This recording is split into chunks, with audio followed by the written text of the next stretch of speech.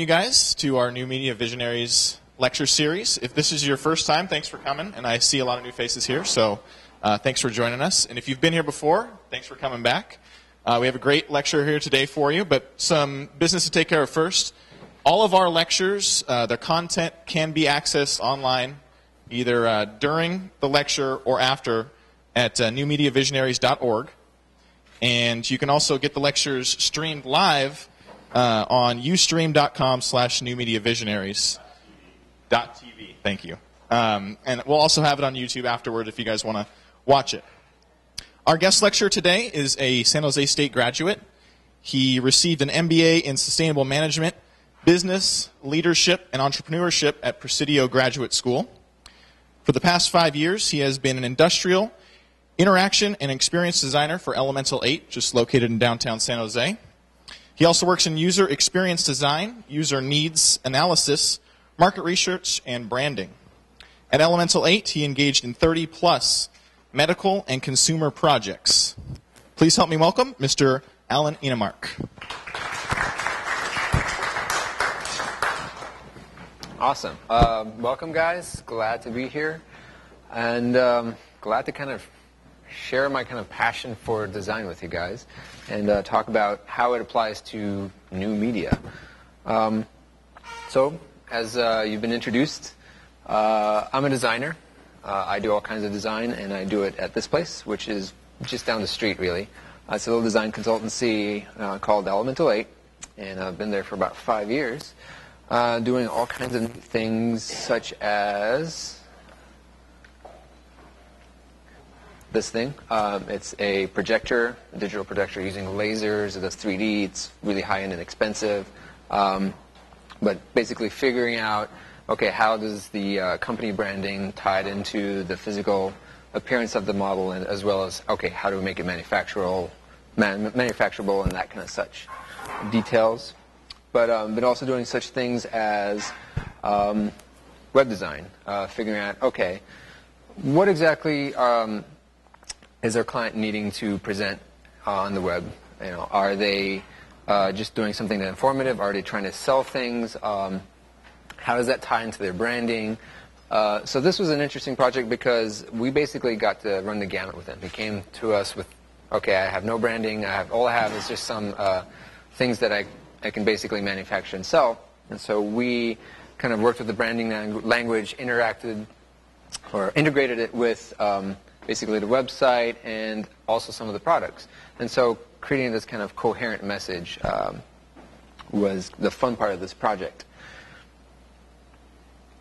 So um, that's a little bit of my background, but what I came here to talk about is really um, design in general um, and how design thinking is this powerful tool that I've learned um, with my design background as kind of a way of approaching these complex and hairy problems, uh, for instance, new media. Um, so basically, you know, what, how we can take design thinking, and it's not just something for designers, it's something everybody can use as a way of um, basically tackling uh, these challenges. But uh, first off, I just want to say know, I'm not going to be monologuing here uh, just by myself. Ask questions, raise your hand. Um, you know, you know, if you're curious, let me know. Talk to me. Uh, I, you know, I'll answer your questions. We'll, I'll try to make this as interactive as possible because um, I just don't want to hear myself speak the whole time. Uh, you know, small class size, I guess, so might as well take advantage of that. So first off, you know, before you can start going into what is design thinking and how does it apply to new media, um, what is design? Okay, everybody probably has an idea of what, what design is. Um, for some reason, this wonderful picture isn't showing up. One second.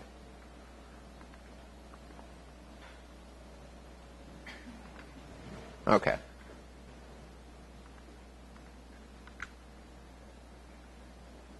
Nope. Okay. Well, all right, you can figure out how or what is design. What do you think about it when you pull out of your pocket? And how many of you guys here have iPhones, you know, iPads? Yeah, there you go. Everybody knows what they have. So when you think of design, you think of iPhone, shiny, you know, nice, desirable object, right? Um, you also think of things like, man, this is annoying. Let me try to figure out why this is not working.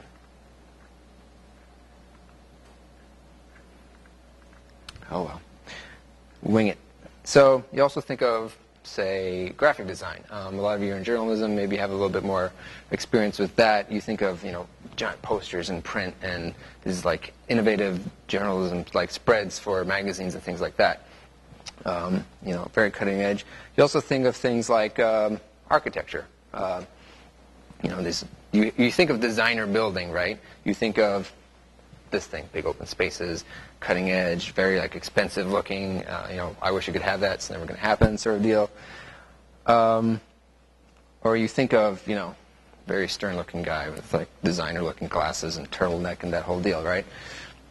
He's um, one of the famous designers at Pentagram, and he does a lot of branding stuff too. And you think of him doing that stuff in this, you know, sleek and very minimal and uh, well thought out of design studio space. Like, wow, this is this is impressive. Like, you know, I don't want to actually sully it with actually being there. I just want to like look at it and admire it. You know, fantastic. Um, but design is uh, it's not just those little thing, uh, areas. It's actually all kinds of stuff. Because if you think about it, design is anything that basically humankind has created because it has to have some sort of designer behind that. I mean, you look at these chairs here, and like they might not be the most comfortable thing in the world, but somebody actually had to sit down and decide, okay, what kind of curve is going to be here? You know, what kind of materials is going to be? If you look at the siding, there's some nice little decorative elements, and that has to be designed. You look at all the things like this building and you know the wallet you have in your pocket and everything is actually designed and this is all part of this landscape of what people call design um, you have things like graphic design, you have things like packaging design, which is its own little uh, development in itself, which is, okay, you, how do, you know, the packaging folds, uh, how do you make it interesting? You have things like furniture design, you have industrial design, which is my background, um, which is more of like products, um, and it can be anything from, I mean, I've known industrial designers who actually are the guys who try to figure out cereal and how to make it like extra crunchy, you know. That's like design in itself. Um, there's really neat stuff in service design, uh, which is a little bit more abstract, but when you think of a lot of uh, development nowadays is in areas where it's not just as product, right, but is like, if you think of a product as a means of delivering a service, um, that kind of starts opening up your mind to, well, okay, what else can it do? For instance, um, think of something like Uber, Uber Cab. It's uh, it's actually a product and a service in itself because you have an app. And what it is is you basically can you know hit a button and a taxi cab type thing will show up to your doorstep right away, and you know how long it'll take, and you can pay for it all through your phone, which is fantastic. But um, somebody has to kind of envision that okay, this is all part of this kind of ecosystem I'm trying to create as this service. So basically, uh, what I'm making a point here is design isn't like you know these, these standardized sort of oh, it's this guy in his clean studio, and you know he's very stoic, and uh, it's only these, these major fields that people know. Design is everywhere. It's prolific, um, and it's fantastic. Uh, but then the question is, okay, so great. Where's the thinking part, right? What does thinking have to do with design? Um, and the big distinction I want to make is, you know, again, all these things I've mentioned is you, you think of it as this design, this iPhone. It's this finalized product. It's like the period, you know. It is done. Uh, I don't touch it. It is this eternal sort of thing. Um, but really, the powerful part of design is the process behind it. All the stuff that happens before this product. You know, all the stuff that uh, basically comes into, all right, what am I going to make? How am I going to make it? For who? Um, basically, that's the key part of design. So um, what I have is kind of put together this list of little kind of indicators and features of design that I think are important. And it's definitely not comprehensive, but it gives you a better picture than, okay, just this product or this thing that it can hold. Um, it's actually the the ideas and mentality behind design. That's the real powerhouse for it. So really, design is not a finalized thing. It is an act. It's a behavior.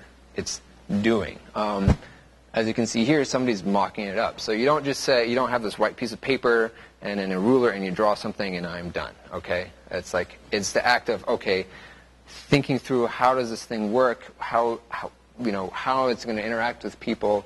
Um, and the best way to figure that stuff out is to not just sit at a desk, it's to actually go out and do it, to mock it up, to, to interact with people, to talk, to, to do run research and figure it out. So design is this doing process, this, this activity. Um, and because of this activity, it's messy. It has nothing to do with that clean, pristine-looking studio that uh, is kind of like the stereotypical design house. Um, that's only when the photographer shows up. Usually, it looks like this, which is actually um, the art building and the industrial design studio, like basically during finals. It is a mess. Um, and how it's cleaned up, I don't know, at the end of every semester, but you can tell people are getting busy. They're doing. They're they're you know sanding down models. They're figuring stuff out. They're figuring out how forms working. They're making up all these mock-ups. There, it's an activity. Um, and on top of that, it's collaboration. Uh, design isn't just this one guy figuring out by himself. Um, it's this group of people working together because really, design's trying to take on these really really complex issues. It's uh, these these things that like okay, you can't just send some guy out to figure it out. It's like okay, well, I have to go this cross-disciplinary um, experience that I need to basically get all these different perspectives and find a way of putting them together. And that's what design is really good at doing. It's uh, basically creating this framework through design thinking process where you can grab somebody who has an experience in something like, you know, graphic design. You can grab somebody who has something uh, experience in like product design see, okay, well, what kind of insights can we get by working these two people together? You can get somebody for like a psychologist come together and say, okay, well, you know, we're making this product. What kind of um, you know, emotional reaction will it have? You know, and what kind of emotional reaction do we want it to have? Um, you can get all kinds of. You can get some material engineer guy who says, "Hey, I have this this great new material that you know can stretch 300 times its its you know normal size. What can we do with it?" Um, and it's basically messily coming together and to kind of figure out the best way to solve problems, really. Um, and probably the most powerful thing about design, design thinking, because, um, okay, you can solve problems, but why are you going to solve problems? Like, for who are you solving the problem? Uh, that's this crucial differentiation that so many businesses and companies and stuff mix. They, they like that guy with that really great material idea comes out and says, "Hey, let's you know make a chair that stretches 200% of its size because we have this neat material," and they just throw it out there and they put all this effort into making it. But then like everybody says, well, no, "I don't need that chair that does that. Why would I even, you know?" And then it flops, and then they're like, wasted all this energy on it. So the idea is instead of saying what can we do, is more like why should we? and for who, specifically for who. And that's a big one, and I'll come back later. It's all about, okay, how am I addressing a person's problems, you know, their needs. The, the big one is their latent desires and needs. And so it's not something that a lot of people can actually express. It's something, here's a good example. Um, you know, everybody thinks of good design, they know what it is, but good indicator of bad design is something that really bugs you. So, for instance, alarm clocks. Um, does anybody still have alarm clocks, actually? Okay, well, you still use an alarm clock. What is something that really bugs you about the alarm clock, aside from the fact that, well, maybe not even, but what bugs you about the alarm clock? Something just off the top of your head. There you go. So somebody somewhere decide, okay, I'm designing this alarm clock. I'm going to make this PC board, and I'm going to get this off-the-shelf, whatever, buzzer, because it's cheap, and I know the guy who can make it. So they put that together. And I guess it gets the job done. But, okay, they're not exactly addressing your specific needs is this obnoxious buzzer, which is like, okay, well, nobody wants to be waking up this horrible way. You know, they're not. Why do you want to start your day like that? I mean, that's just going to set this whole chain reaction of things that's going to be like, oh, I'm woken up. It's not. So instead, why don't you like, well, what are some pleasant sounding things that you like? For instance, music. Okay, what type of music?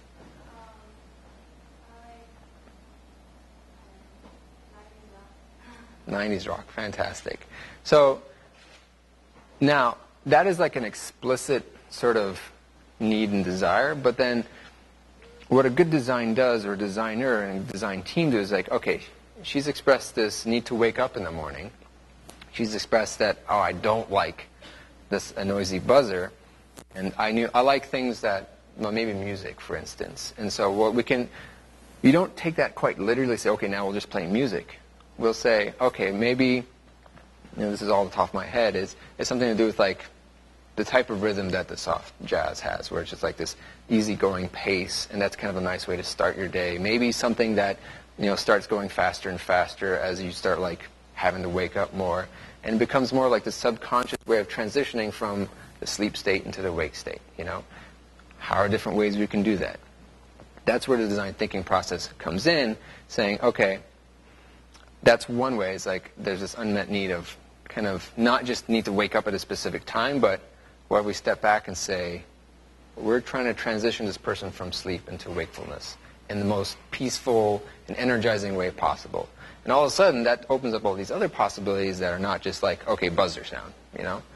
Um, that's the kind of the power of focusing on the user and their wants and needs.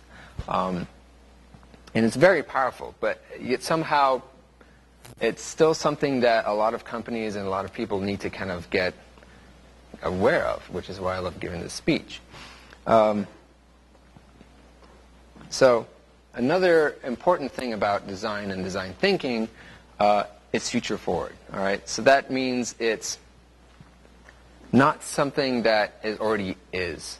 Uh, and this is tricky because this inherently means there's a lot of subjectivity and a little bit of ambiguity and uncertainty. And, um, you know, it's a bit mushy. And like a lot of people don't like that because that makes them kind of uncomfortable because there's not this quantifiable things. Because what design needs to do is basically imagine what should be and what could be, not what already is. And that's why again, you take latent user needs, it's, um, you know, it's not like what this person says they need, but you have to kind of project, okay, they're saying this and this and this, but what they really want is this. And it's not something they have. Because, I mean, the whole point of design is planning, right? It's, it's creating something that isn't in existence yet, and you have to kind of convey that. And so what you need to do is look forward as, okay, what could possibly be? And so that's the tricky part about design and design thinking. And so that's why you want to have all this kind of diverse perspectives to kind of fill it out as nicely as possible. And so, of course, that, that makes it ambiguous. Now, I don't want to say that design is ambiguous because that would be a bad thing. That would be you're not communicating it well, you haven't thought it out well. It's design thinking is um, a way of handling ambiguity and uncertainty. It's a way of saying that I'm comfortable because another important feature about design and design thinking is, uh, you know, it's not like an A to B. It's like, here's my problem, this is my solution, straight line. Okay? It's saying, well, all right, this is my problem. I'm filling it out. I'm defining it. I'm researching, um, you know, all the things I need to know about and potentially could use. And then I don't know exactly where I'm going with this yet. Uh, and that is uncomfortable because of uncertainty. It's like, you know, you go to, imagine you're going to like your manager and he's saying like, okay, I've given this, all this money for this budget and give me all this people to help me research these things out. And he's like, what are you going to do with it? And you're like, well, I don't know yet. You know, it's like, uh, no.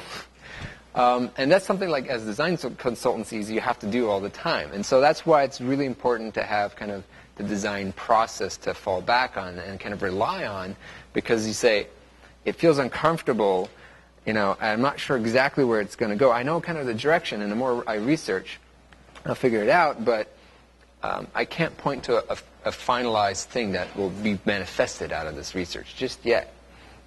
And so that's why you have to rely on the process to say that, okay, I know it's happened before, and I know good things happen historically, but when I follow this process, so it's okay. You know, it's okay to have the ambiguity here. It's a journey. Yeah, exactly. It's it really, and um, that's actually one of the quotes I was going to use. Is more of it's not so much the destination; it's that journey, and that's a big thing when I was being taught in school. Is okay, you know, we come up with this great concept and like do the renderings and like present it to a teacher. You know, like yeah, that's nice, it's a good idea, but like document. How did you did you document how you got there? And we're like, no. I, this, why does it matter? This is a good idea. This is the thing they pounded into our head so many times. It's like it doesn't matter. It has to be reproducible, right? And that's the, the another big thing about design is it has to be reproducible, scalable. It has to be something that you can consistently do and prove to others that you consistently do. Um, that leads into something like communication. And a whole thing about design is really, because it's this future forward, this, this kind of ambiguity stuff, it's really important to kind of communicate with, um, not just with other members of your team, but with your clients, with, um, with kind of potential customers and users. You know, you need to be able to kind of explain what this innate abilities of this thing are and uh, how it should be used. So, coming back to the journey thing, therefore you need process. Okay? Um, and this is probably the most important thing about design and design thinking um, is relying on the process. Like I said, you can have a you know one-hit wonder. You come up with this great idea, uh, super, but like your job is to be perpetually creative. Um, and so there are all kinds of sort of mock-ups and diagrams of what design process and thinking stuff is, right? Um, this is one of the more common ones. This is one's a little bit more for, um, you know, visual design stuff. Uh, it's called like the, the, funnel method, right? So what you do is you start off with um, sketch, which is kind of this rough idea, like you're kind of generally defining, you're researching, you're figuring out every you can about a project and its problems, and then you're essentially narrowing it down a little bit, like, okay, well, can I get some concepts? Can I get some, you know, concrete ideas out of this? Okay, it, you know, you start narrowing it down a little bit you kind of, through experience and through talking to other people, and you kind of, okay, vetting which one's out, you do a little bit of validating. Okay, so these three concepts are really good. And then you basically mock it up, you do a little more testing, and eventually you come down to like this functional prototype, this one kind of, this is the thing that panned out based on um, all the good ideas and all the meshing of different viewpoints. It's kind of funneled out to this one thing. Um, which is fine and dandy because it's a good way of kind of narrowing kind of the, the focus of the work. You know, instead of broad focus and then a little bit more, you know, focused into specific ideas and then one focus for a final idea. Um, it's nice and dandy, but it doesn't convey quite the whole picture. And this is another kind of uh, chart with the design process where you identify the problem, you brainstorm, um, brainstorm is really important because this is where you, you don't rely on one person. Again, it's a collaboration where you try to get as broad uh, viewpoints as possible. Because it's kind of like idea sex. You know, you like throwing this idea, you throw this one idea, and somehow maybe they mesh together in a neat way and produce this novel thing. And you're like, hey, that's cool. We didn't think of that before. Um, and then you keep doing that. You keep designing so this is different because it doesn't show us this linear process. It's kind of like one of those other design stereotypes or like conventions where design is this like linear process. It's like goes straight forward, it marches on, um, it's very consistent. This starts showing that eh, maybe that's not quite the case. I mean, usually when you're a design consultant, you kind of promote that image to the clients. It's like, don't worry, everything's going according to plan. We're at this step. This step is next. You know, it's part of that whole budgeting thing.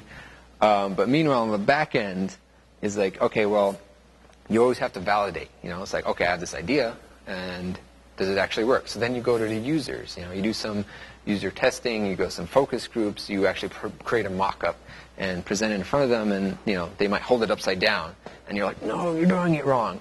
No, it means that your design isn't accurately communicating how it's supposed to be used. You have to go back, revalidate it, figure it out again, and say, or maybe that comes up with a whole new insight where, hey, this is neat. Um, we didn't think we can use it upside down actually works better that way. And so you then reconfigure. And so you, it's a cyclical thing where you redesign, rebuild, test, evaluate.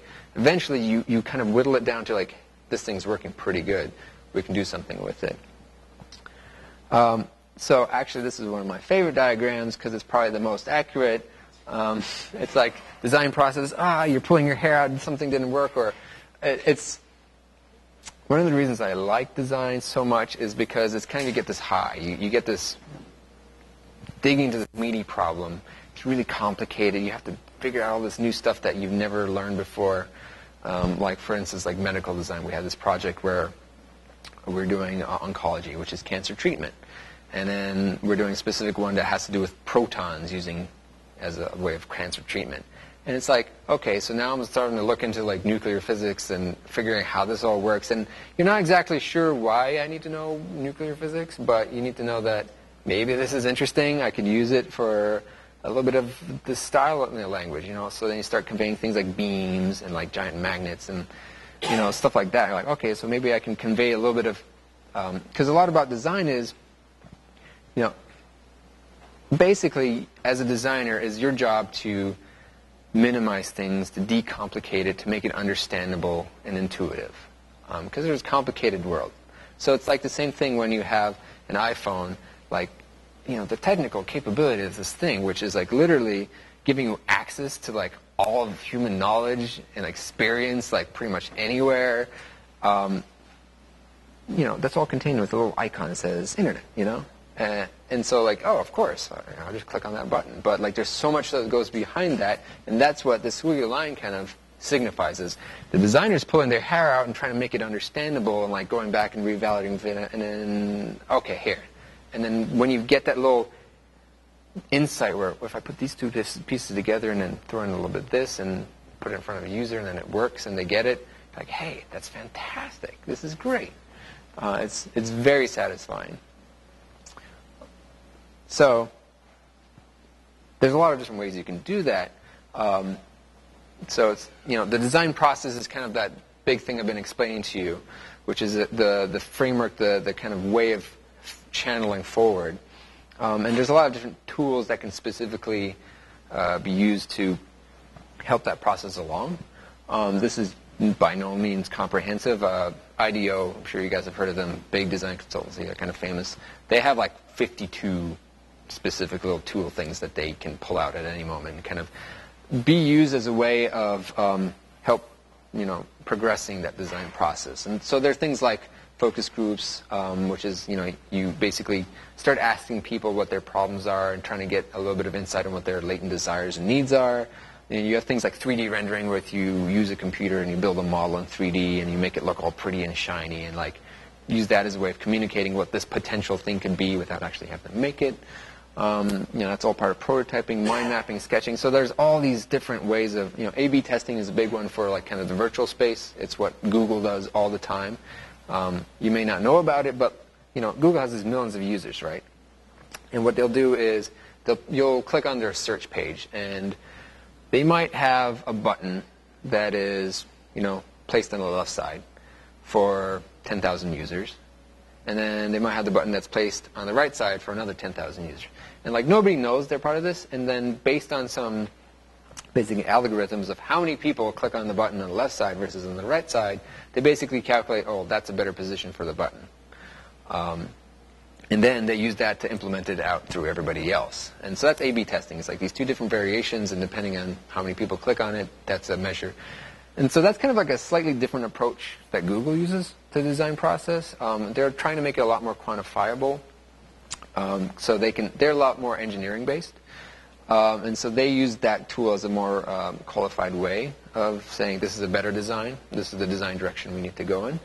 Versus say a place like Apple, um, they don't really do that much with focus groups and testing because, um, again, just by the company culture and they've they have some really good designers who can just based on their experience say button in the right side is probably a better way to go just because it meshes either a with their kind of design language and philosophy or just their experience that you know people tend to click on these types of buttons better just from their experience and so it's just a different approach i mean there's a big debate which is better which is not Um, you know, I'm saying whatever works, go for it. Uh, diversity is better.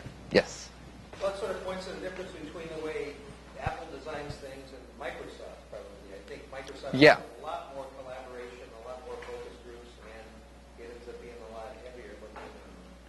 Yeah, and that's um, over-engineered or just diluted in a way.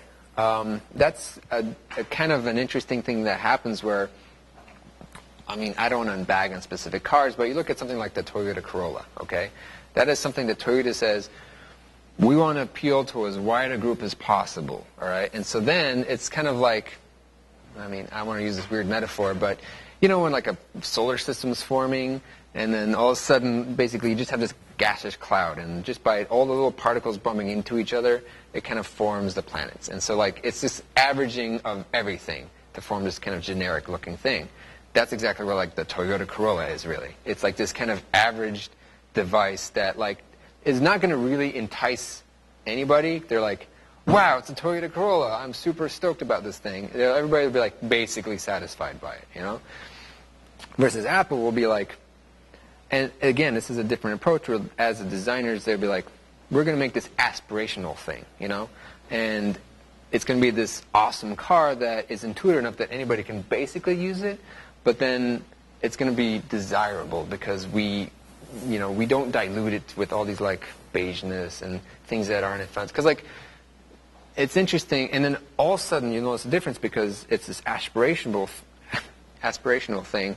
Is people change their opinion about what is good? You know, they kind of change the entire perspective of, well, if all my friends are saying this is cool, then I guess this is cool. And it's sort of this critical mass where all of a sudden that becomes this neat thing to want.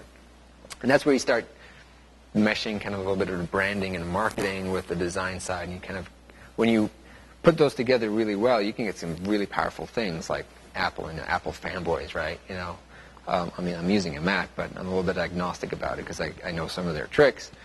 Um, but you can see the difference between something like Microsoft, where they're actually they're technically a much bigger company as an overhead wise, and they do really good things, especially like with um, Windows 8 and all that kind of interfacing. Uh, I definitely appreciate it because they're like, we're going to try something else than what Apple's doing and just copy them. Um, but that means they have to go up at a little bit more risk. You know, they have to kind of go against all that sort of network effect that Apple's kind of put out there. And so it's, I don't know, it's something you consistently have to kind of reevaluate. It's funny to hear you describe it that way because Apple's built their reputation on being way out there in front, on the bleeding edge, trend setting rather than That's the image. trying to appeal to everyone. Yeah, and that, that's and that's exactly it. By basically becoming this aspirational thing, and then everybody joins it, like everybody. So it's and it's this is a tricky part that Apple has kind of have to navigate through. I mean, it's a little bit of a, a side note, but it's like they have to kind of still project this like trend setting and like oh I'm unique vibe when like everybody's still doing it. Um, so it's almost like, and they're still like the underdogs, because Apple's always been like the underdog. They're, okay, we're nimble, we can change, we can try these risky things. But really, Apple's never been, I mean, I don't want to say dare, like innovative in that sense, like they'll try something completely crazy and new. They'll see somebody who's done something and say, this has something to it, we'll just do it better, we'll refine it, we'll, we'll make it work much better than anybody else has been able to do before. Um, and that's kind of how they, they push it based on the kind of their guts and knowing, okay, our experience. Um, but like again, it's this very focused vision versus this kind of distributed average, like averaging of, you know, ideas. Um, so, like you say, you know, again, kind of go back to what I was mentioning before, like you think of design as this linear process, and like there's this expert and there's this clean, you know, very straightforward thing. And no, there's all this back end that goes. There's a million different ways to approach it. And that's again why the process is so important and why kind of having that design thinking mentality is important because you're okay with the ambiguity. You're okay with, okay, well, it's going to be a little bit fuzzy. We're, we kind of don't have exactly an answer, but we know it's good enough to do something that somebody will like. Um, so just kind of a personal story um, about design thinking and how it's not just necessarily the realm of designers and these you know experts. Uh, the process is really robust in the sense that um, so IDEO has this kind of workshops where they kind of promote the you know design thinking stuff. And uh, for my grad school, what I actually went to was I went to Thailand and um, did a little bit of workshop there for okay, what's design thinking? And so it's a, like you know a three-hour, four-hour thing where you kind of convey the idea of instead of saying, here's a problem, there's a solution A to B, you say, okay, I'm going to do um, kind of the design thinking, design process approach. Uh, and this one, in this case, it's make a wallet. You know, very simple, right? Everybody knows what a wallet is. Make a better wallet. Um, and so they're given a blank piece of paper and say, make a wallet. And like, everybody does a horrible job because like, well, I don't know, what do I do? Instead, okay, well, you step back and you say, well, make a wallet for this specific person, you know, and work with the person next to you and say, hey, do you have some ideas to make better ones? And then all, this is where another tool is basically the idea board with post-its. Everybody has all these different ideas and really quickly jots them down visually. And so this is the amazing thing is these guys, they're not like designers. There's this language barrier, and this is something we're giving them tasks in three hours, which is, you know, a lot of professionals do for their entire life.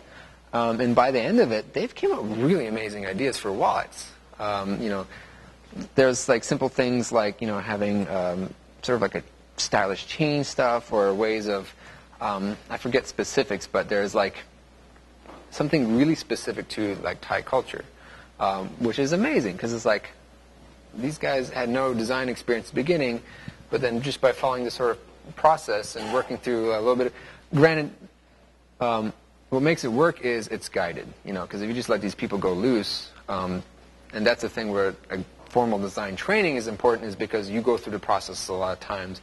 You get a lot of experience, and so that makes you be able to. I've done this before. I know where there's like roadblocks. I know that I can get stuck on this, and that's why, um, you know, a lot of big design consultancies and companies um, kind of. It's not so much that they're selling something completely different because like they all say we have these very different design process, but they're all the same. It's a little bit of secret, you know all design consultancies basically do the same thing. Um, the thing that they're bringing to the table that's different is the kind of their individualized experience with who's working there and a little bit of the legacy of them um, that that brings. And so, you know, you can come up with really good ideas uh, even if you're not a designer, is the end point of saying, you know, following that process. So, yeah, design thinking, anybody can do it with a little bit of help and guidance.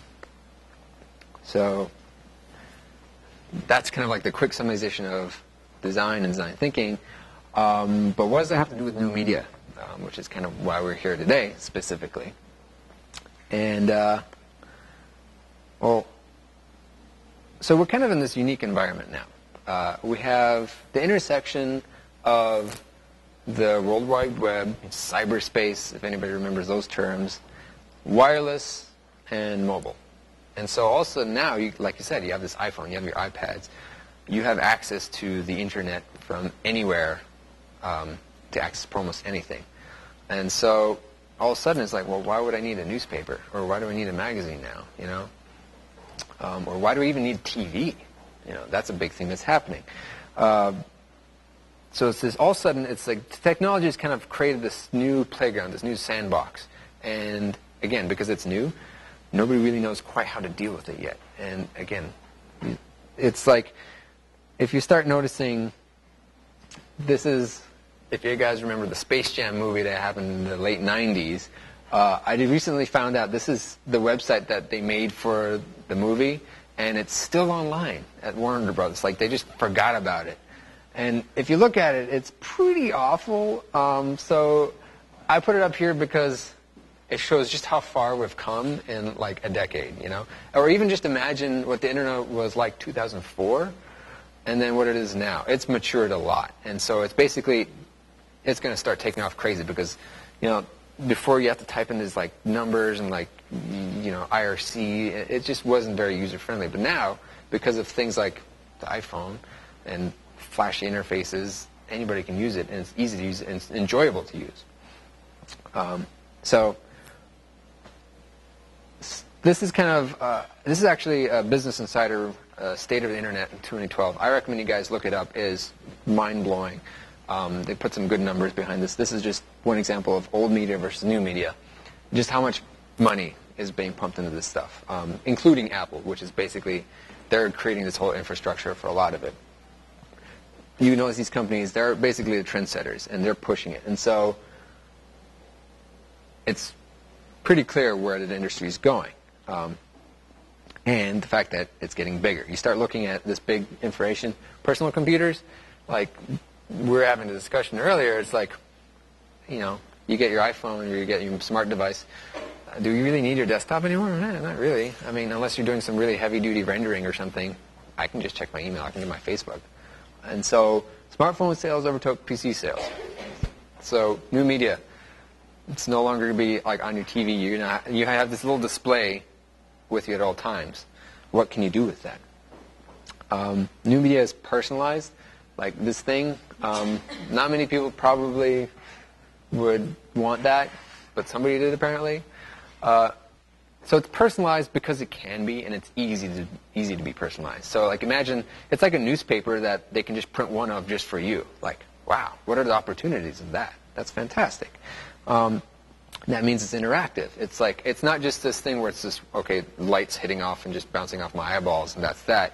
It's like I can change the content. I can dive into the content more. It's like when you go on a Wikipedia binge, like you get some link to one article and you click, click, click, click, click, and all of a sudden you're, you know, you've known all this new stuff that you didn't know before, and you spent three hours in like, you know, middle of the night and learning about, I don't know, wombats randomly. Uh, but that's kind of like this. I wouldn't know. Oh, look, that I can Wikipedia that and find out. I mean, that's amazing. It, so it's interactive. Um, but another thing is it's fragmented. Um, and this is kind of an important thing about that is, well, you look at long time ago, long, depending on who you're talking to, you had like, you know, the four networks, right? And you had the news hour, and that was like, that was your information source. You know, you had the radio broadcast. And then you start getting cable, and things started getting a little bit more concentrated. And so now, basically, it's very fragmented because a it's you know customizable and personable. That I can now basically tailor exactly what type of information I get, and that's like Google. For a long time, there's this big kind of debate about Google searches. Um, Google didn't know how its algorithm was really doing it, but basically, the person you could type in a Google search about like I don't know the BP oil spill, and then the person next to you could type in about the BP oil spill, and they'll get you know totally different results. One would be more about like liberal things like uh, you know people going in and saying how all the animals are dying. And another person would get something that's like basically the BP PR guys or their stock quotes, you know, and what used to be something that was, you know, you have somebody who basically consolidate the information for you and tell you in a more or less unbiased way that this is information you should know. Now, if you want it or not, it's getting completely personalized to your individual things. And so that's creating these little isolated bubbles where you don't actually get information that you don't want, and so you might not be exposed to different viewpoints. So that is an issue in itself, this fragmentation of, you know, everybody who listens to Bill O'Reilly can only go listen to Bill O'Reilly, and everybody who listens to Jon Stewart can only go listen to Jon Stewart. Um, but at the same time, uh, the other perspective is that creates a kind of very strong communities. Because instead of, okay, everybody's with everybody, it's like, well, I'm with these people that I can relate to, and then I can start forming these interesting communities based around similar viewpoints and interests. So it's kind of two sides of the coin, but it's definitely something you need to take in consideration with this new media. Um, another very important thing, it's two-way. Uh, of course, the Twitter bird right here. Uh, it used to be that how would I contact a company or how do I interact with it? You call customer support, and it's like, so what if you, they listen to you? Um, but now, because you have this broadcast medium that literally everybody is, there's this guy, for instance, Delta, who he was a musician. He looks out this window and he sees them like throwing his guitar and breaking it. And usually, like when they're blowing it into airplane, and usually it would be like, sorry, tough luck, whatever. We don't care. We're Delta. Um, he made like a catchy little video on it, put it on YouTube, it went viral, and everybody's like, man, Delta, Delta, they're just jerks. Why, you know, why should we even fly? And all of a sudden, like Delta's getting scared. Like this one little bad little blurb is getting you know three million page views on YouTube, and they're losing. So they like, oh, here's some free tickets. We're so sorry.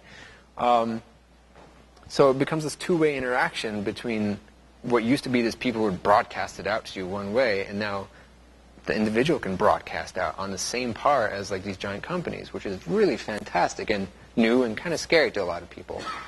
Um, that's something that people are still trying to get a hold of.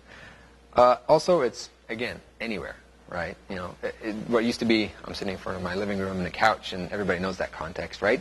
It's now, am I in a BART train? Am I, you know, in the airplane flying now with wireless internet in the airplane? Am I, you know, uh, walking down the street and not looking in the street and getting hit by a car? Like, you know, what is the context, right? It basically can be anywhere, uh, which is something that is new to media consumption. Um, and it's any time, um, also known as now. Uh, like, you know, it, it's it's funny how quickly there's like a Louis C.K. skit about how quickly people get dissatisfied with things. Um, like he went this whole skit where like, you know, the, he's there in an airplane and somebody announces that this airplane now has you know wireless internet on it. Like, have fun with it. And people are like, yay, wireless internet. And like within five seconds, people are already complaining, oh, this internet's so slow, man, this sucks. And it's like, dude, five seconds ago, you didn't even have it, and you're already complaining about it? So it's like, yeah, you know, so it's, exactly. Um, so now people are getting used to the fact that they can get access to information now and they can get access to it quick and if they don't get it something's wrong you know and so instead of like okay i'm going to wait for my show to come out or uh, you know it's six o'clock now it's time for my show like i can go like well i'll just dvr this or i'll just download the torrent later and watch it whenever i feel like it you know or it's like two in the morning and i just i feel like watching a movie why do i have to go to a theater and like get i just watch it now you know um, and so that's something that is a little bit jarring to a lot of companies too, because it's like, okay, how how can you manage that? You know, how can you communicate with your customers? How can you do all that stuff when it's all like they're they're pretty demanding? You know. So those are some like basically touch points for new media that I've found. Um, so I'm trying to, I'm going to quickly kind of put them together. So how does design thinking and the new media mesh together, right? Um, well, you start noticing overlaps uh, between it because, again, people generally think of problem solution one way to do it. I found one way, it's good enough. Uh, but you can't do that anymore because things are way too complex um, and ambiguous and changing dynamically. Things are just happening so quickly nowadays that you can't just assume that it's a linear direction anymore. You have to be able to manage that complexity. You have to be able to um, embrace it in a way, and let it let kind of the environment take you to where it will, versus trying to force your will onto the environment. Um, and so you notice, like, because new media has all these different aspects to it, you'll notice a lot of overlap with the design thinking approach. Would be, okay, it's dealing with all uncertainty. It's still maturing. How exactly is it going to pan out? We don't know the final destination of new media. Well, okay, we know that using design thinking in that process, we can kind of rely on that to give us good solutions. Uh, we know that new media is all about like communication two ways. You know, design thinking is essentially communication. It's complex. Um, the fact that it's rapidly changing is a good thing to be doing when you're doing a lot of the conceptualization, conceptualization, revalidation, revalidation. So instead of like, I mean, when you think of a website and web content nowadays, it used to be like your product. I mean, even with interaction design and interfaces, um, before like you have a product like a coffee machine, you put it on a table, it's done. I don't have to worry about it for like five years, ten years, you know, or these chairs for like 30 decades. Um, but now you have something like a website, and if it's not refreshed in two years, it becomes really dated. Standards change. You know, Flash is out the window, and now you have to do HTML5. Oh, okay, I have to revamp everything. So it's never really finished anymore, you know? Um, and so that's why the iteration, iteration, revalidation, revalidation is an important part of the design process, an important part of new media is because you're constantly having to play catch up with new media. And like, what is happening now? What's evolving now? Um, so I'm just going to have a couple examples of what is considered new media, and which is um, one of these things. I can have Cheezburger, all right? Um, it's an interesting example because um, lolcats and basically you know funny pictures of cats with captions on the internet. Uh, a couple of years back, I like me and my friends just like this is. It seems like everybody knew what a lolcat was, right? But then I would talk to my boss, who's just like a little bit older than me. He's like, "What's that?" Or I talk to my younger cousin, who's just a little bit younger than me, and he's like, "What's that?" And I'm like, "Wow, this is weird," because in my bubble, like everybody knows what lolcats are. But then just slightly outside of it, you know, nobody does. And so it's A, interesting to notice that kind of fragmentation of it, but then B, at the same time is this guy who made this stupid, he didn't actually make any content, right? Because of two-way communication, it's not just two-way communication, it's basically you're not having to rely on making content yourself, you're letting users make the content for you. And so instead of having to, you're less of, okay, I need to know how to make stuff. I have to know how to manage stuff that these users generate. And it's a different mindset. It's, well, it's like herding cats in a way. But this guy made up this cheesy little website in 2007, ended up selling for $2 million. Uh, and, and it's like, all he did was just came up with this silly idea and it took off. And now it's actually like this entire media empire that has all these different type of fail blog, which is the same thing except people like falling off ladders or like you know whatever with a caption underneath it, or it's one with dogs instead of cats, and like there's this whole series based on this, and it gets tons of views, and then all of a sudden you get all this ads, and again you see things like the thumbs up and thumbs down. It's because of this two-way communication. People feel like they can add to it and they can get credit, and then you know you just have to kind of, and that's a something that you need to have a design approach where it's like, okay, well, I need to embrace the fact that I, I can't explicitly control everything that people make, or I have to kind of let go and be a little bit of uncertainty, but I have to know how to manage it. I have to kind of predict that this is where somewhere the consumers might take it. And all of a sudden you have this media empire. Um, this is another one. It's called Pulse.me. It's actually starting out as an app. Um, and what it is is because there's so much, well, essentially it's like CNN but completely personalized. And so you can pick all your news sources and what type of articles and from what field and what categories, um, and you get a ton of information density here uh, and all the different articles. And so basically you can pick these categories and make this completely customized broadcast. Like it's it's a it's a digital newspaper printed exactly for your own wants and needs. Um, and the fact that these are seamlessly downloaded to the tablet. And so let's say you know you don't actually have internet, you can still read the articles. Um, so that's a good kind of indicator of okay, well, what is the kind of future of media going to be? It's going to be completely customizable. It's going to be kind of instantaneous. It's going to be like this huge information overload. It's going to be this really customized thing. Okay, how are we dealing with that? It's like, well, you're addressing a user's needs, you know? this user now has this expectation about instantaneous contact. They have this expectation that it's going to be completely personalized. Like, well, you're going to have to address those needs. Otherwise, they're going to move on to somebody else. As a lot of newspapers are finding out. This is another one. It's uh, good.is. Um, this is interesting because it's sort of, uh, instead of a blog in a sense, this is how a lot of blogs are kind of evolving these days. They just had a recent uh, update, and it's essentially just kind of, well, it's a blog, but it's about more environmental, social policy, that kind of things. Um, but what they've done is, if you notice at the top here, is like there's a for everyone, which is kind of like their general broadcast. There's for you, and then there's uh, explore. And so they've taken this blog, which is sort of, if you still think about this kind of linear broadcast thing, and they've turned that into a way of where okay, now it's like this two-way where I can customize the information that it's presenting to me. And so it's almost like the internet is creating this thing where it's less of this content generation and then there's this one way to get to that content or it's broadcast out. it's turned into these nodules where this content gets shoved to this guy, which is broadcast to this guy, which is linked back to this guy, and you get this huge kind of spider webs of um, information, of having different ways of access that information.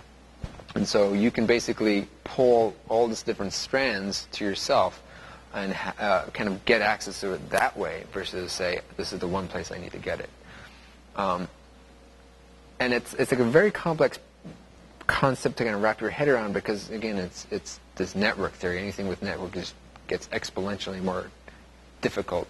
But it's more like the internet itself is there's not this single point. It's more like this meshed hub where okay if this site goes down i can go to 20 others to get the content what makes this one different it's like well sort of because how they blend that content how they personalize it to me the interface um, the message it's producing that sort of thing. Uh, that becomes important for connecting with the users instead of the content itself. And of course, there's the uh, sort of infamous Reddit. Um, how many of you guys have heard of Reddit around here? Everybody. Fantastic. Um, and it, it used to not be that kind of known thing, but like people who knew Reddit knew Reddit, like they're on it all the time. And this is what makes it interesting uh, that there's a lot of things that do the same thing. Like, for instance, there's something called Digg that was around a couple of years ago. It basically was exactly the same thing, but then it had a lot of competitors. Um, and then they did a redesign where they sort of got rid of this idea where the community itself generates, well, not generates the content, but promotes the content. And they sort of said, okay, well, we're going to do a little bit of editing.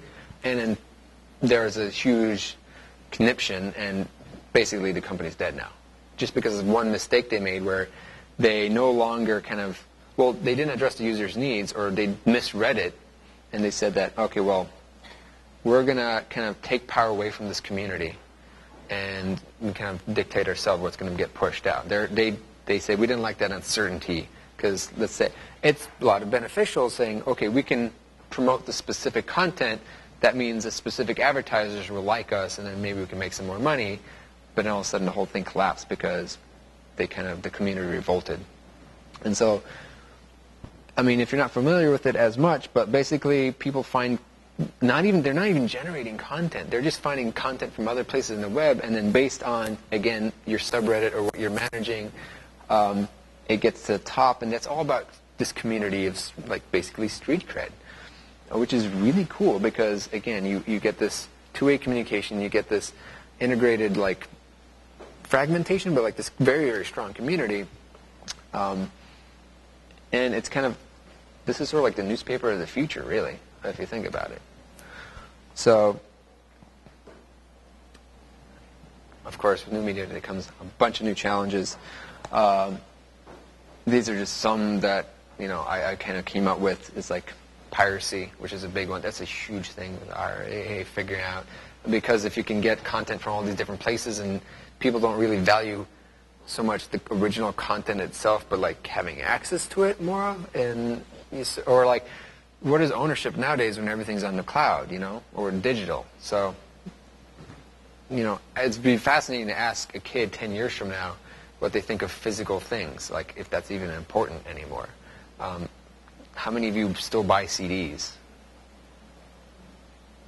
not that long ago, the CD was the thing to have, you know, and and I mean, I was in a generation where this transition happened, where like I was eventually thinking like, oh, I don't like the idea of not buying CD. Like, I I want to own it, you know. It's like, but then the convenience factor just kind of overwhelmed it. That's exactly it. Too. I buy it because I don't want someone controlling Mm-hmm. what I have or how I use it. That's and I that's CD, I rip it, yeah. and I can do whatever the hell I want. And this is a from online, they've got control. Exactly, um, and that's part of the whole like right to internet and manipulation thing. Like there was this thing where you, this is really scary, but like at the same time really cutting edge is um, with the Kindle, and there was this hubbub that happened with, and it's you can't make this stuff up, but 1984, a bunch of people bought that book on their Kindle, and the publisher noticed there was like a typo or something wrong with it or something didn't want. They're like, oh, so they pulled that book from all those people's Kindles. They didn't have access to this thing they've bought anymore. And, and it's like, but, yeah, exactly. It's like, nah, we can change. And so, like, what is preventing them from changing a couple of paragraphs in there or like just saying, oh, you don't have access to this anymore. And this, this is this. So again, that ownership and like, it's this trade-off between super convenience and instant access versus again rights and uh, basically senses of ownership or like again back to the Google searches. It's like it it's, opens up this whole new kind of Pandora's box. Um, data mining. That's uh, I have a friend who working at a startup, and it's like not even the, the objective of the startup, but basically if you have this app on your phone and they can it pings once in a while like your location. And they get all this database information like tons of information.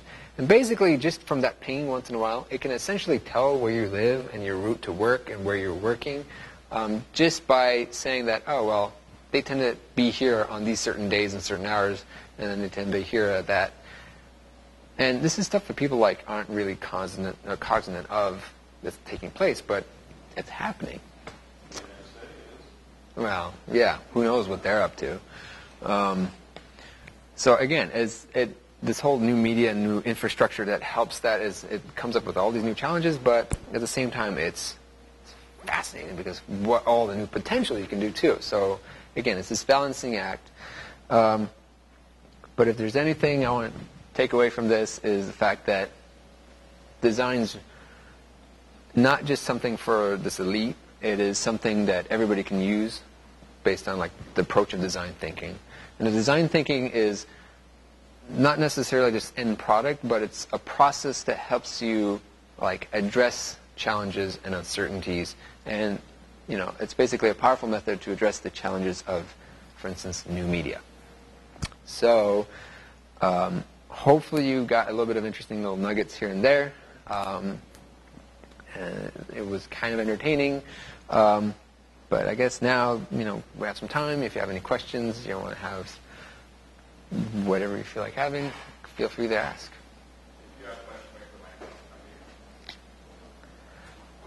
Yes. I have a question. So, when we talk about uh, my background's in photography, and when we talk about photography, we talk about the idea of originally painting was all about synthesis, and photography let us go from synthesis to selection. We just chose the moment we wanted and we captured it. We didn't have to paint it. We didn't have to go buy the Right, paint and the okay. canvas, and we didn't synthesize anything. We just grabbed Yeah, it. Captured. Now we're back to synthesis again. We're back to all of these pieces need to come together to create an interactive experience. And um, a photo is just one of those things, or, or a movie, or you know, all of those elements. And one of the things I'm always fascinated with is: is there a an equivalent of the you know Werner Herzog calls it the the ecstatic truth when you just feel feel something in a movie that is just so movie so perfect to be seen in a movie. That thing on the raises the hair on the back of your neck. That synchronization of maybe what you hear and what you what you see. And in a photograph, we call it the decisive moment. That split second. Is there such a thing involving the synthesis of media that a designer needs to strive for when they create something in new media? Really interesting question. Um, first thing that came to my mind hearing it uh, is, well, not so much that there's almost two different points that comes into play. It's that one point, like I was mentioning with the design process, when you kind of get that new idea and you notice that, hey, this could have some legs to it. I, I you know, what if I take this one little concept and then integrate it with this concept, and all of a sudden, wow, this is this is new, this is fresh. Um, I'm a lot of that I get is just from interaction, uh, which is more like the motion and behavior of, of like say digital spaces, and it could be. It's kind of like these things that delight people, that it's unexpected, but once they see it, like imagine the first time you did a scroll on a touch device, or the fact that you can actually use a touch device, and then it had this little bit of inertia to it. You're like, oh, wow, that's cool. I, like I instantly get it. It gets that little bit of tingle, like, oh, I know how to use this. I didn't expect it. It's, this is cool. And so there's that idea that somebody said that what if we have inertia in interaction? that's like this nugget that's very good. And then there's actual implementation of it, where you do all the hard work and development to actually make it work good enough. Because I mean, if you could do that and then it, it acts laggy and like it crashes your you know iPad, uh, you're not going to get that cool experience. And so there's that two points where I think that comes into play, where it's the initial idea and then the actual successful implementation of that idea. Um, and to be fair, I was like you know you, that doesn't happen all the time. Sometimes it's just grunt work, you know, and it's like you, you have to just make it work good enough, and there isn't that much delight. But that's kind of something that all designers strive for: is that little bit of delight, you know, that little unexpected, like, hey, awesome, that makes people, you know, aspire to have your product, aspire to use it, that uh, enjoy using it, you know, instead of just like, you know, it's like using a Dell laptop, which gets the job done, and you know, doesn't excite you, versus saying like, you know, and it's not even this, it's not even like real functionality difference, but like, you know, you get the sleek new MacBook Pro with the super retina display, you're like, woo, you know, it's just that little bit of extra delight there, and that's a little bit of the magic that hopefully designers can interject in things, slash marketing teams.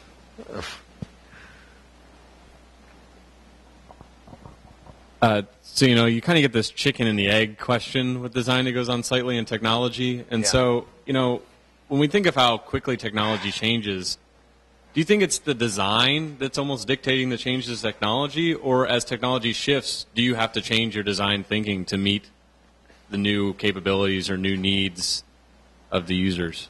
And that is also a good question, um, and it's a little bit of both, to be honest. Um, you know, because you see that cyclical validation, you know, conceptualization. Um, but it's almost like a non-starter because the point is, again, if you think about it, addressing the user's needs, not using the technology. You know, um, so it's almost like somebody will come to you with the new technology, and then it'll enable you to do new, new, like really cool new things that addresses somebody's needs and wants and desires. Um, or you, I mean, it also depends on like what you're working to strive for, so that you know, how do I use a new technology, or how do I use something, or do something better with existing stuff. Um, but I almost don't see it as like a chicken and it's almost like a chicken and egg that's happening on the side, but it's not the end goal. It's the end goal is again to address the user's needs. Like you can, maybe you can even do something the same way with like, I don't need a MacBook anymore. I can just use a really nice pen on a piece of paper. You know, it's like I so I just sidestep that whole issue. Fantastic. Yeah, I had a real quick question for you. I have an advertising background in graphic design too, and you um, said earlier about the the poss- um, problem solution. Pretty simple thing. You said linear, Yeah. and now it's much more complex. But I, I, I never found it linear in my entire life. You had a lot of stuff out there. So talk a little bit more why you think it's more complex now that, than it, it. I never found it linear. Yeah. Well, and, and- I'm going back. Oh wait. Yeah, yeah, yeah. To be fair, I mean, it's it's never been linear.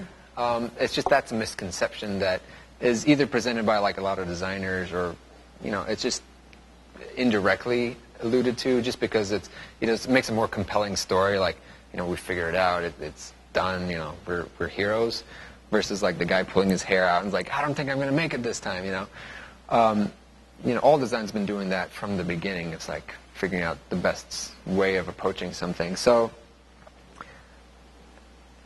yeah, it's it's again, it's never been, it's never actually been linear. Although to be fair, it has, I'd say, gotten a little bit more complicated because um, our perspective and our worldview has gotten bigger.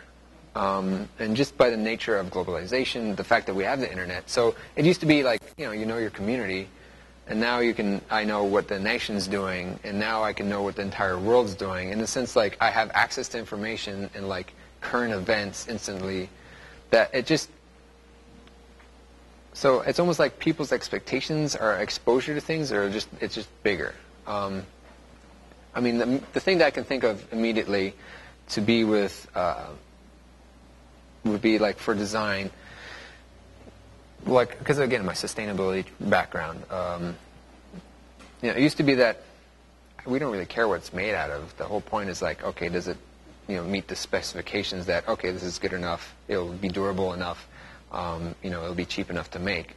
But now we're starting to push it like, okay, well, what's the impact on the people and the environment of using this material, transporting this material, of you know disposing of this material, and all of a sudden that it's like, oh, these are things I haven't thought of before, and then that starts becoming the expectation that you thought of, you know, uh, because that just just needs to be addressed because we're aware of it. You know, it's like you can't just say, oh, this is extra stuff that now I know exists, but I'm just going to ignore it.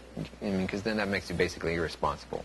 So, same thing with now that people are expecting this really cool interaction with like scrolling and like you know physics behind the you know, scroll wheels and things like that. When you don't give that to them or you don't consider it, then they're like, oh, this is not meeting my expectations, and so it's just again because of the nature of the internet and information overload, people are just get exposed to more stuff, and so you kind of have to at least address it or be cognizant of it. If that makes sense. Same thing with like social issues and stuff. I mean, like, you know, now you have to be. It's like it kind of maybe evolved from political correctness into more like, well, I have to be aware of that. Saying this thing is going to be offensive to somebody. I mean, and do you have a plan of addressing that? You know, or the fact that now you have exposure to such a wider audience, the fact that you now have the statistically bigger chance of actually offending somebody who now can broadcast the fact that they're offended to like the same audience, and so it's um, you can't yeah you can't ignore the, the problems anymore. Is that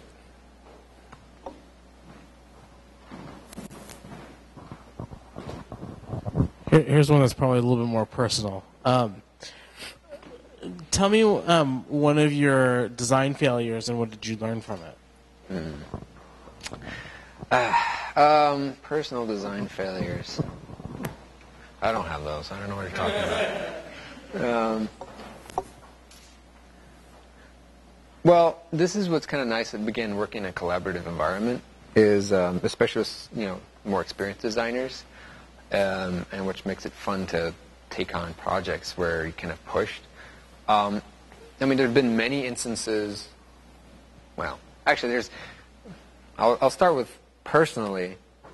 There have been many instances when I'll come with conceptualization, you know, and you know, again, it's like just pulling your hair. You don't see where it's going, and you try to figure. And so I'll come up with concepts or like, you know, aesthetic styles and stuff that I'll present in, for an internal review, right? And then you know, the boss man will come and like, you know, shoot him down. It's like, what are you thinking? You're completely off base, or like, you know, you haven't thought about this, or you're not addressing this problem, or you know, this definitely isn't going to work because of this, this, this reasons. And you're like, you know, of course, I should have thought of that. Why didn't I? And so, um, I have the benefit of again having again the, the collaboration makes it less likely that that failure will kind of come out to the client and like eventually get implemented.